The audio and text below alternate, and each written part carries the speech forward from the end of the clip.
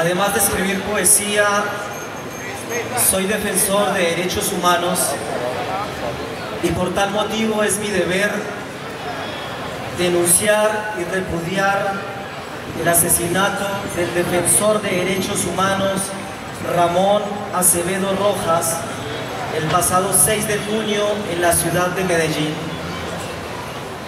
De acuerdo al Ministerio del Interior, en lo que va corrido del año 2016, han asesinado a 12 defensores de derechos humanos.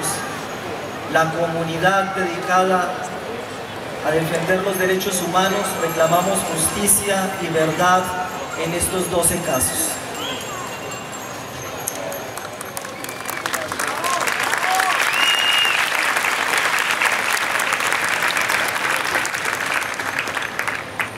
El siguiente poema está dedicado a las madres de la Candelaria, a quienes tuve la oportunidad el día de ayer y hoy de abrazar y acompañar.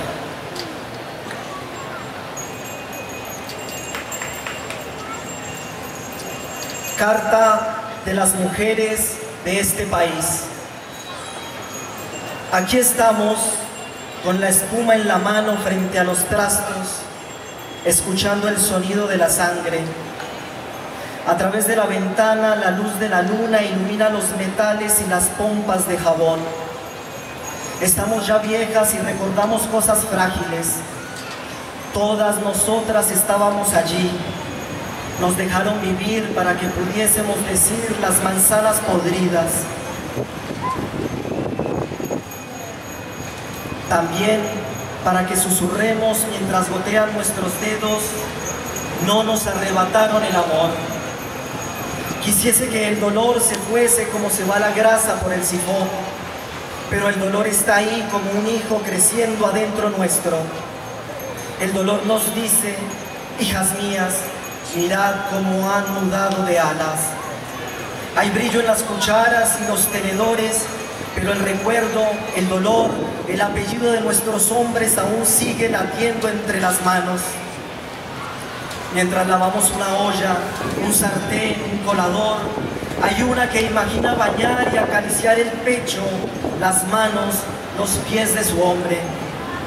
Son otros los que hacen la guerra, pero somos nosotras las que cargamos las carretillas de lodo de un cuarto a otro.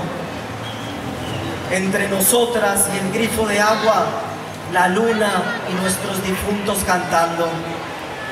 No nos marcharemos sin más, vamos a lo profundo del misterio, buscamos en el humilde jarro de nuestro pozo las palabras más sencillas para decir con exactitud la costilla rota, su mano tronchada, sus ojos abiertos y quietos.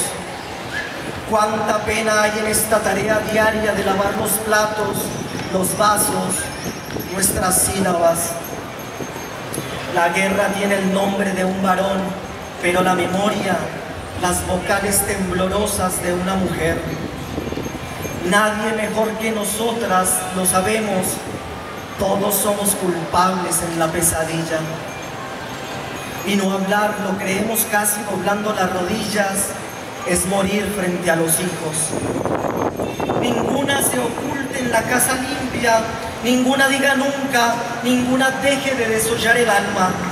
Aquí estamos las mujeres de este país sacándole brillo a nuestros muertos. Aquí estamos las mujeres de este país edificando con espuma el amor. Aquí estamos las mujeres de este país con la luna entre las manos.